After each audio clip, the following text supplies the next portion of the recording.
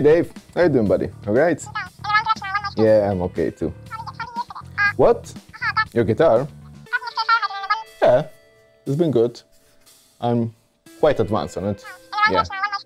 I just need to polish out some things and yeah, it will be ready.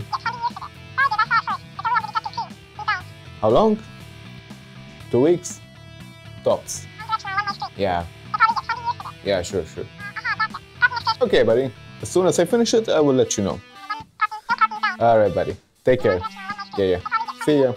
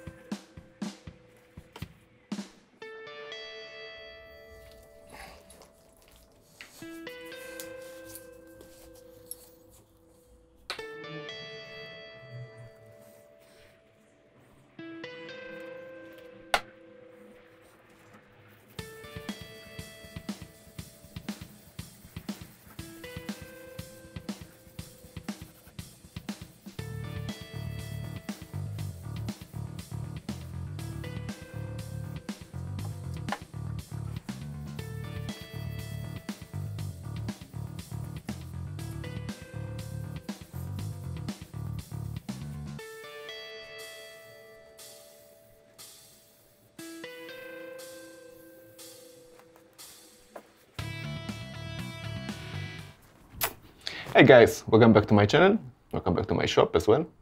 And well, if you recall, last year I introduced a new series the trio of Odins, in which I was going to build three headless guitars, three Odins, and passed a long time since that announcement, and I've done some progress on it. If you follow me on social media, you can see that two of the Odins are ready. The 6-string Andromeda one, which you can see a link up there. And yeah, this one is done. If you're interested, that guitar is available for purchase. You found you will find a link in the description uh, section down below. And the other six string, the um, Divine Edition, was done, which is this one. And just yesterday, I received an email from the customer, which he received because I had to ship it to Canada. And the other Odin, the 8 string for our artist, um, David Depasquale, um, it's still in pieces actually. Well, this is the, the neck, which I'm working on. Hmm. This is the neck for the 8 string Odin, which finally I started to do some work on it. Lately, oh, it's been a bit crazy. Yeah. With my full-time job, oh, they changed our shift pattern. Now, now I'm working every day from Monday to Friday instead of with the shift as before. It's a bit tough to put in some hours on these projects. But it's useless to complain. I still need to move forward. So yeah. You saw me earlier preparing this fretboard for some oil. I like, even though this neck is going to be finished with lacquer, I still prefer to seal the fretboard with some Tru-Oil before installing the frets. So yesterday I put three coats on Tru-Oil. Now I'm going to scuff it with some steel wool, four, of steel wool, and apply three more coats. And then tomorrow, after it dries, um, probably going to put three more coats and then I start fretting the, the neck.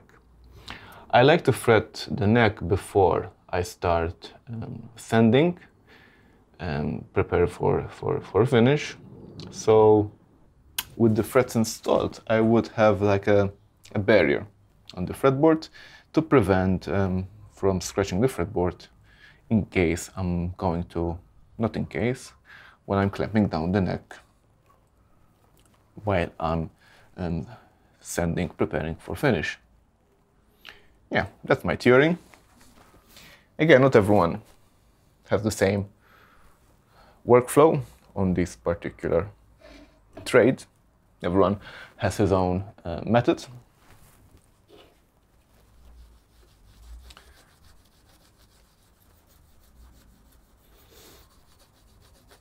If you have any questions or comments, again, please leave them down in the comment section down below. If they make sense, I'll do my best to answer them for you.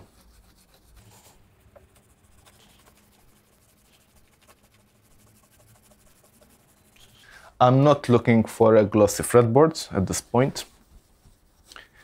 I just want um, a thin layer of foil to have like a, a protection for the wood. This is a nice piece of Madagascar ebony, which wasn't easy to find for this particular size. Again, this is, this is going to be an 8 string guitar.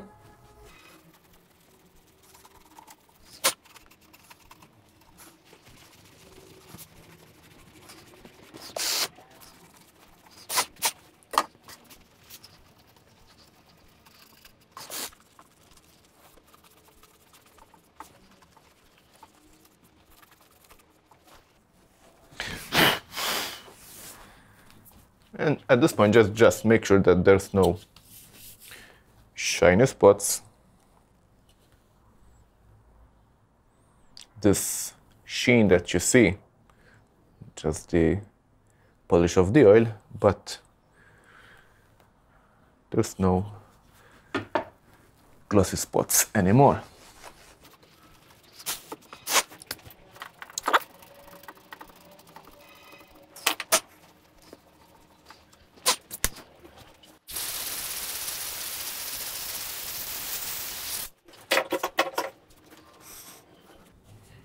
And then I like to kind of buff everything with a nice clean cloth.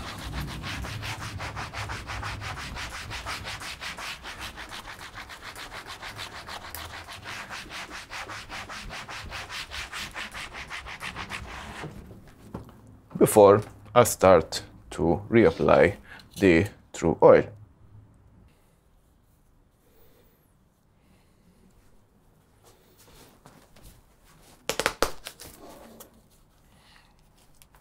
Tru-Oil.